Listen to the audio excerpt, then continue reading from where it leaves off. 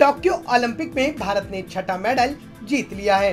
भारत के star wrestler Bajrang Punia ने free style कुश्ती के पैंसठ किलोग्राम वर्ग में कजाकिस्तान के दौलत नियाज बेकोफ को आठ शून्य से हरा दिया है।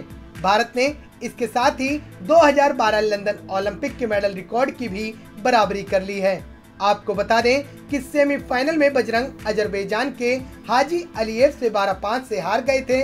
उस दौरान बजरंग ने हाजी अलीएव के खिलाफ मैच के शुरुआती मिनट में ही एक पॉइंट से बढ़त बना रखी थी।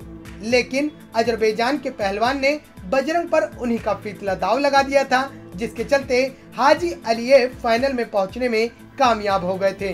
वहीं सेमीफाइनल में बजरंग को मिली हार के बाद बजरंग के पास रेप चेंज के ज़रिए ब्रॉन्ज मेडल जीतने का एक मौका बचा हुआ था। ऐसे में शनिवार को बजरंग ने पैंसठ किलोग्राम वर्ग में कजाकिस्तान के दौलत नियाज बेकोब से कुश्ती लड़ते हुए उनको आठ शून्य से हरा दिया है।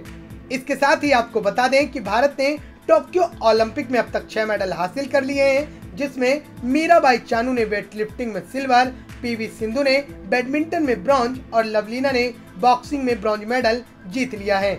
इसके अलावा गुरुवार को भारतीय पुरुषों की टीम ने ब्रॉन्ज और कुश्ती में रवि दहिया ने सिल्वर मेडल जीत रखा है। बहरहाल, बजरंग ने भी अपने नाम ब्रॉन्ज मेडल कर लिया है। इसके साथ ही भारत के पास अब टोक्यो ओलंपिक में कुल छह मेडल आ चुके हैं।